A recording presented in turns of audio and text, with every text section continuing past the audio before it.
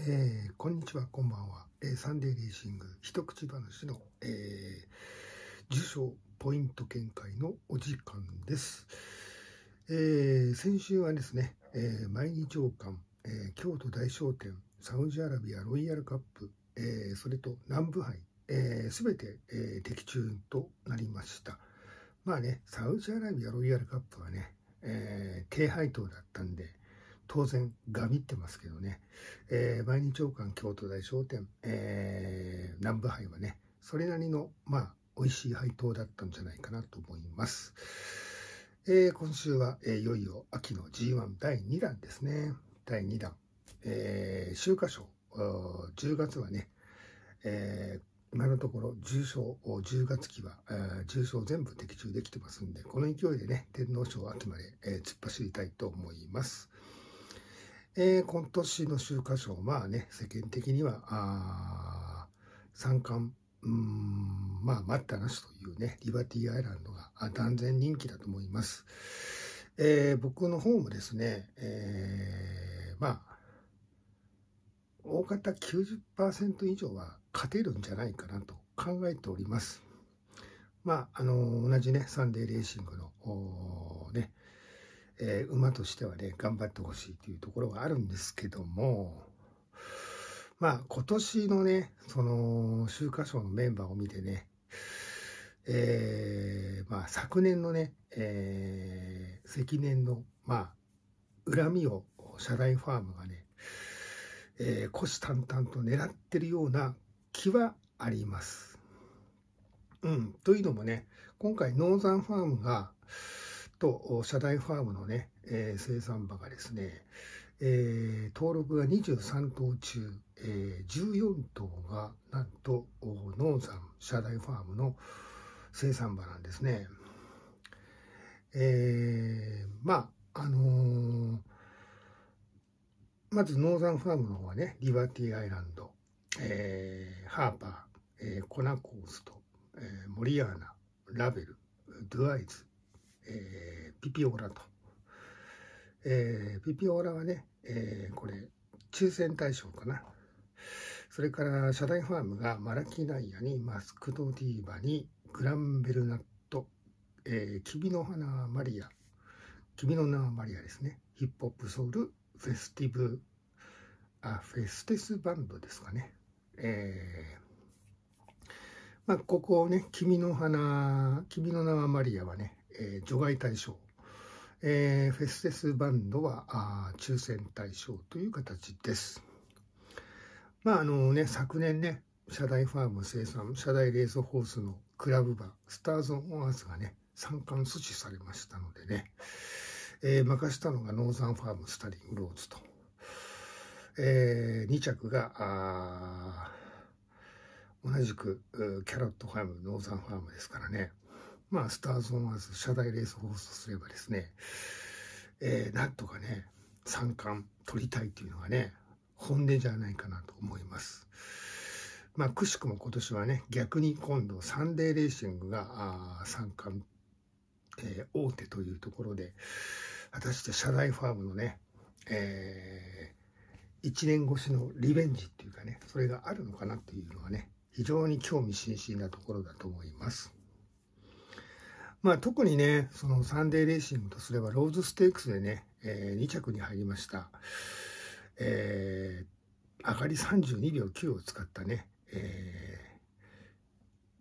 ー、まあ、ルメール騎手がね、乗っかっていた馬なんですけど、これをね、まあ、登録もせず下げましたよね。まあ、そういったところでね、なんとしても、その、このね、リバティアイランドに参加を取らせたいっていう思いはあるんじゃないかな。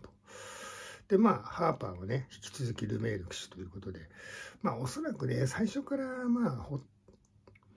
まあ、あの、ローズステークスでね、2着した時点で、まあ、使わない方向でサンデーはいたんじゃないかなって気はしますけどね。はい。まあ、そんなわけで、えー、データの方から見てみましょう。まあ、あのー、ね、一番人気、近10年では、えー、3勝してます。えー、3勝はね、副勝率は30%なんですけど、3勝のうちね、アーモンドアイ、デアリングタクト、ミッキー・クイーンが勝利してます。まあ、アーモンドアイとデアリングタクトはご存知のように、ここを勝って3冠取りましたね。まあ、一番人気で負けてたのは3冠がかかる中で、負けたのがスターズ・オン・アースだけなんですね。で、3番人気とね、4番人気の副勝率が高くてですね、3番人気は70%、4番人気も50%とね、結構これはね、2番人気より信頼が高いというデータが出てます。えー、次のデータ、まあね、皆さんご存知だと思いますけど、オークス直行組とシオンステークス組が優勢と。まあ、オークス直行が4勝で副勝率29。シオンステークスも4勝で副勝率19。えー、ローズステークスは2勝、副勝率17%。えー、前走3勝クラスは0。えー、前走2勝クラスは副勝率が15%。と、まあ、あのね、抽選対象になりそうな馬がね、えー、出てきた場合、副勝率15%なので、まあ、あのー、注意が必要なのかなって気はしますけどね。えー、今回、オークス直行は、えー、リバティアイランド、ハーパー、新緑花、コナコースト、ドゥアイズ、この5頭ですね。まあ、私自身もね、この5頭で決まるというケースも考えなくては、考えると、まあ、この5頭でも構わないかなっていう気はしますけどね。えー、それから次のデータですね。前走上がり3位以内が、あ近10年は7勝してます。副勝率は34%。えー、前走上がり1位、2位、3位というのをね、見ますと、まずリバティアイランドは前走オークスで34秒0。当然1位ですね。ハーパーは前走34秒8。えー、上がり3位。えー、ドゥアイズ、これが前走35秒0なんですけども、上がりは4位ですね。えー、モリアーナはシオンステークス前走上がり1位34秒3。えー、3着に突っ込んだ人気薄、知らんけどは上がり3位で35秒0。えー、クイーンステークスで勝ちましたルーラ、前走上がり1位35秒0。えー、ローズステークス勝ち馬マスクドディーバは前走上がり2位ですね、33秒2。えー、フェステスバンドピピオラというところが前走上がり3位。えー、フェスティスバンドは前走札幌でね逃げ逃げて勝って1位と。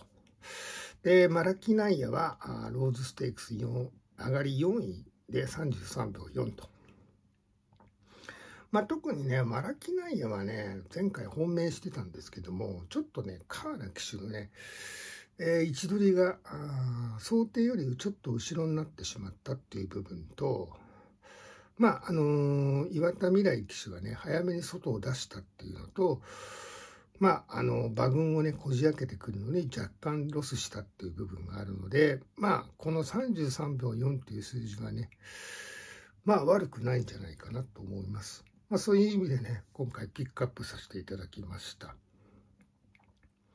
で、まあ、オークスね、4着以内がね、えー、ここ、えー、6年連勝してます。6連勝。えー、5着以下はですね、2着、3着で、それぞれ、えー、4頭ずついるということですね。まあ、そうなると、リバティアイランド、ハーパー、ルーラ、ラベル。まあ、こうデータ見るとね、リバティアイランドでしょうがないというね、方もまあ当然だと思います。まあ5着以下はね、新緑カコナコースとドゥアイズ、ヒップホップソウル、エミュー、北ウィングと、まあいますけどね。えー、まあ結局まあもう一個ね、重要なデータ、あまり載ってないデータなんですけども、あの京都の内回り2000メートルってのは結構ね、普通のそのコバのね、オープンとかね、えー、3勝2勝クラス1勝クラスもねそうなんですけども先行がね優位なんですよね。内回りでかつ直線平坦ですから。ただ、あのー、秋華賞に限ってこと、ね、京都の秋華賞、えー、金8年に限って言いますと、先行馬が非常に、えー、芳しくない成績が出てます。うーん、まあ、大体、あのー、4コーナー5番手以内の馬っていうのが、金8年で、7%の副勝率で、まあ3頭しか絡んでないんですね。で、差し馬がね、ほとんど上位に来てるというのがね、えー、この京都開催の秋華賞の、まあ、貴重なデータなのかなと。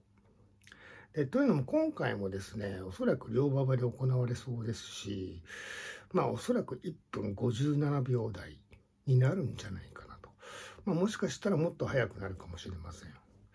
で高速決着でリバティアイランドがオークスよりも若干中段で構える形で早めにね、まあ、4コーナーでねうん先行馬を掃除してしまうような形になるとインで足を溜めてた差し馬とかね直線だけで、えー、後方にかける2着3着狙いの馬がねえー、台頭するんじゃないかなって気はします。えー、まあ、そういった意味でねあのデータ的には最速3位以内の馬っていうのをね注目したいなとは思います。まあそういう意味ではね先ほど言いましたようにマスクトディーヴァマラキナイア、まあ、この辺りはね、まあ、末脚勝負うんまあベストなんじゃないかなと。特にこの2頭ね、社台レースホースの馬なんで、まあなんとかね、 Stop the リバティと、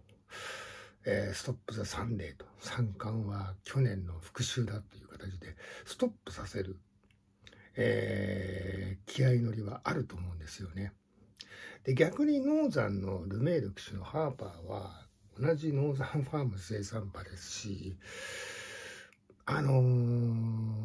ハーパーの場合ね、やっぱ切れるっていうよりもバテない長く平均的なその足がね使えるってタイプだと思うのでまあおそらく今回もルベールク氏ね勝ちに来ないと思うんですよねそうするとリバティより後ろで、